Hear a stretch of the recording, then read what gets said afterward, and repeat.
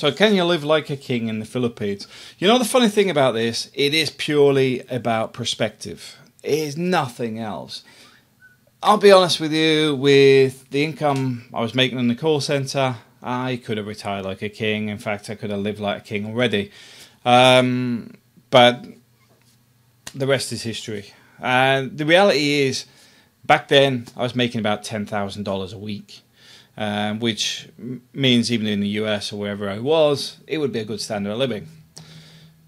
The reason I say it's perspective is a lot of people call it living like a king because they feel like it. It's got nothing to do with financial wealth in many cases. It's more to do with their quality of life. Being able to wake up and go to the beach in the morning, um, having a cheaply rented house, having a beautiful partner maybe having a maid, a driver, etc. This is why they say like living like a king. But for most people, they're not living like a king at all. But for them, they are. Because their life has changed in a very positive way. Having somebody as a partner that they may not have had elsewhere, they've got somebody that they're in love with, happy with, content with, and pretty much life in the Philippines is a little bit different in the way day to day life is. I mean, the Middle East has a very similar thing. People open doors for you. People treat you differently purely because you're a Westerner. There is often a belief that you're better than everybody else purely because you're a Westerner. Do I agree with it? The answer is no, but it's actually how people see you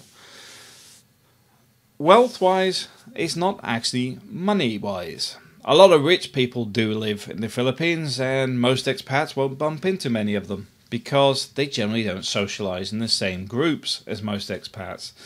They've no interest to, there's no need to, there's no inkling to say, you know what, I'm going to head down to the local bar.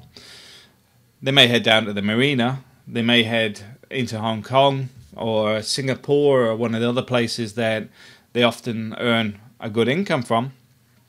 But generally, they're in the Philippines because it's cheap.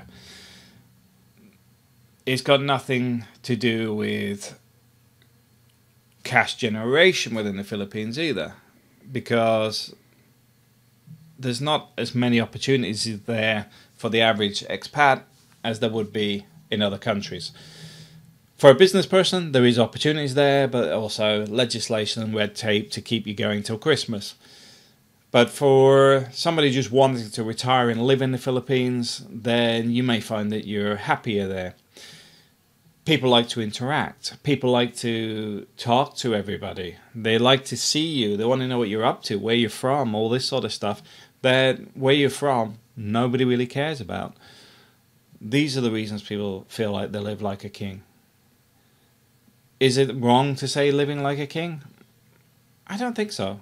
You know, when they define why they say it, then I understand it. But when you're selling an ebook on a false lie, you know, it's um, or well, it's a lie that you're going to be living this world of this wealth and all this sort of stuff. Then it's rubbish. Um,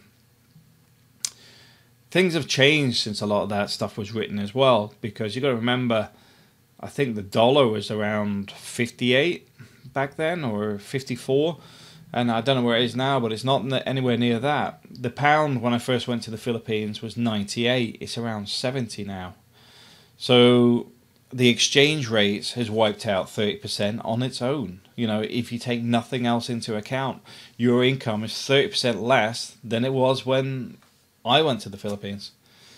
So there's these things that often get overlooked but a lot of the stuff on the internet is also written a long time ago.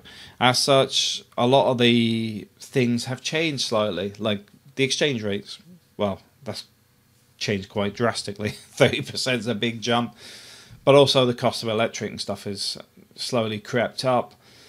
I would say the cost of food has been the same, but the variety has increased since 2007 you could have a chef in the Philippines if you wanted one. In fact, I have a friend who has somebody come and cook for him every day. These are the sort of things that are cheap. We have a laundry woman that does our laundry when we're in the Philippines. We don't use a washing machine, it's all hand washed. We have people do the gardening, etc. Those sort of things are expensive in the West because everybody's brought all the trade skills up due to minimum wage. So a guy doing gardening previously wouldn't have cost a lot. Now it's worse. Cheapest is going to be minimum wage. So the fact is, the costs have gone up. Philippines doesn't have that. It does have its minimum wage, but a lot of time it's completely ignored. I know some people say, "Oh yeah, but they do it." Um, it's completely ignored most of the time. There's always ways around it. Every business person knows every loophole, and as such, exploit it to the max. Uh, max.